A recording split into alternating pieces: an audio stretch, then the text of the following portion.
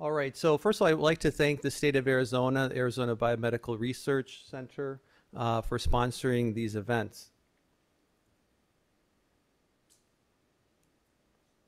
Okay, um, so I think this is a really important topic, and I think it's great that we're seeing the um, the involvement of, of all of you here in Arizona. Um, this is some of our work from the Veterans Administration. Uh, we wanted to look at the incidence of cardiac amyloidosis over the past 10 years, and it's gone up approximately fourfold. And I think that's not surprising given the emergence of new therapies and diagnostics for this disease. Uh, but relevant to today is that black veterans have approximately three times higher incidence of cardiac amyloidosis compared to white veterans. And I think it's clear that this, this disease disproportionately affects uh, black males. And this work has also been supported by other work in non-VA populations such as Medicare. This is some work that we presented at the American Heart Association. And the top figure shows the geographic variation in different states in the United States. Um, and you can see that the, the, the colors go from dark blue to light to lighter, um, and red being the highest uh, color. And the, the, the incidence of cardiac amyloidosis was highest in the Northeast and followed by the Midwest. But uh, interestingly, the, the, there was a wide disparity between the Northeast and the South. Uh, and furthermore, in figure two, this disparity uh, was accentuated if you just look at black veterans. So the Midwest had the highest incidence of cardiac amyloidosis, followed closely by the Northeast. And this was far exceeding the rates in the South as well as some of the Western states, which are still in deep blue. And so clearly this shows there's a great variation in care, and there's probably opportunities for improvement uh, in care. And we still have to investigate uh, what are the reasons for this. So with that, I'd like to introduce today's moderators. Dr. Paul Underwood is a cardiologist who originally set out to become a general practitioner in his hometown of Knoxville. He completed cardiology training at Cleveland Clinic and internal medicine at Mayo Graduate School of Medicine. He's been practicing interventional cardiology since 1994 and clinical research. In 2009, he transitioned to the medical device industry spending the last 14 years with Boston Scientific. And recently, he embarked on a new venture, Cardio MedSci, where he can use his experience to reach a broader clientele and help to reduce health disparities. As a member of the Arizona Latin American Medical Association and former president of the Association of Black Cardiologists.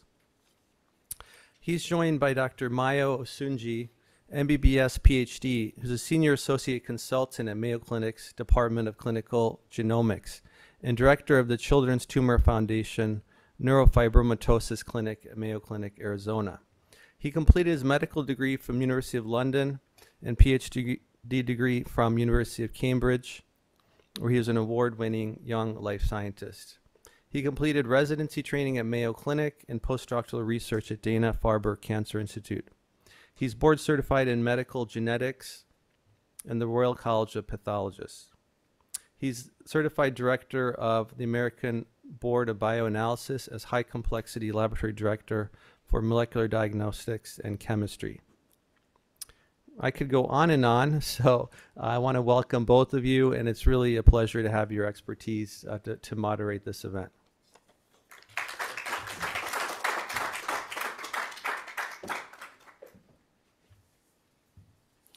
Thank you uh, very much, um, Dev. And um, it certainly is an honor to be before you and to see how Arizona is actually progressing and breaking down some of the barriers of technology that have been holding us back. Certainly want to thank you for the interest that you have in this, this topic. It's very important and certainly very, very timely. And um, the format that's been set up has been a debate format. So it's my pleasure to introduce, um, I guess, a couple of the, um, I won't say the panelists, but um, a couple of the, the contestants here.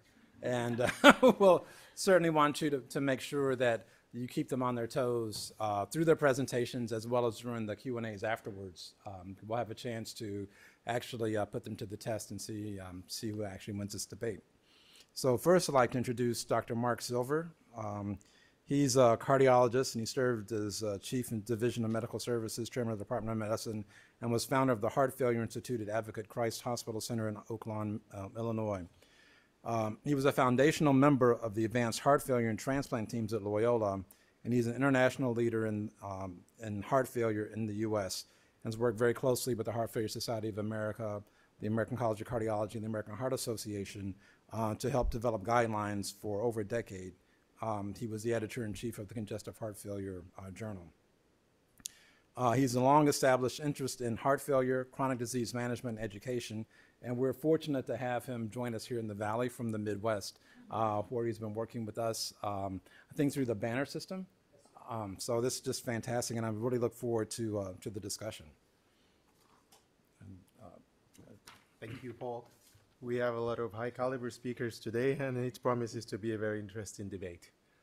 Well, I will start by introducing Dr. Brandish. Dr. Brandish is the director of ASU Genetic Counseling Program, clinical professor at the College of Health Solutions.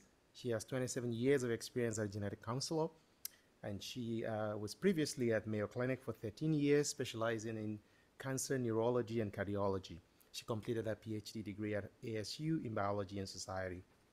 I also have the pleasure of introducing Sonia Sabrowski, who was a very, very intelligent genetic counselor. She is at Mayo Clinic. She's an instructor at Mayo Clinic, and uh, she has keen interest in cardiogenetics and neurogenetics. It promises to be a very interesting debate. Great. And then I'll just close off with um, introducing Dr. Andrew Bashara. Uh, he's an advanced heart failure and transplant specialist at St. Joseph's Hospital um, here in Phoenix.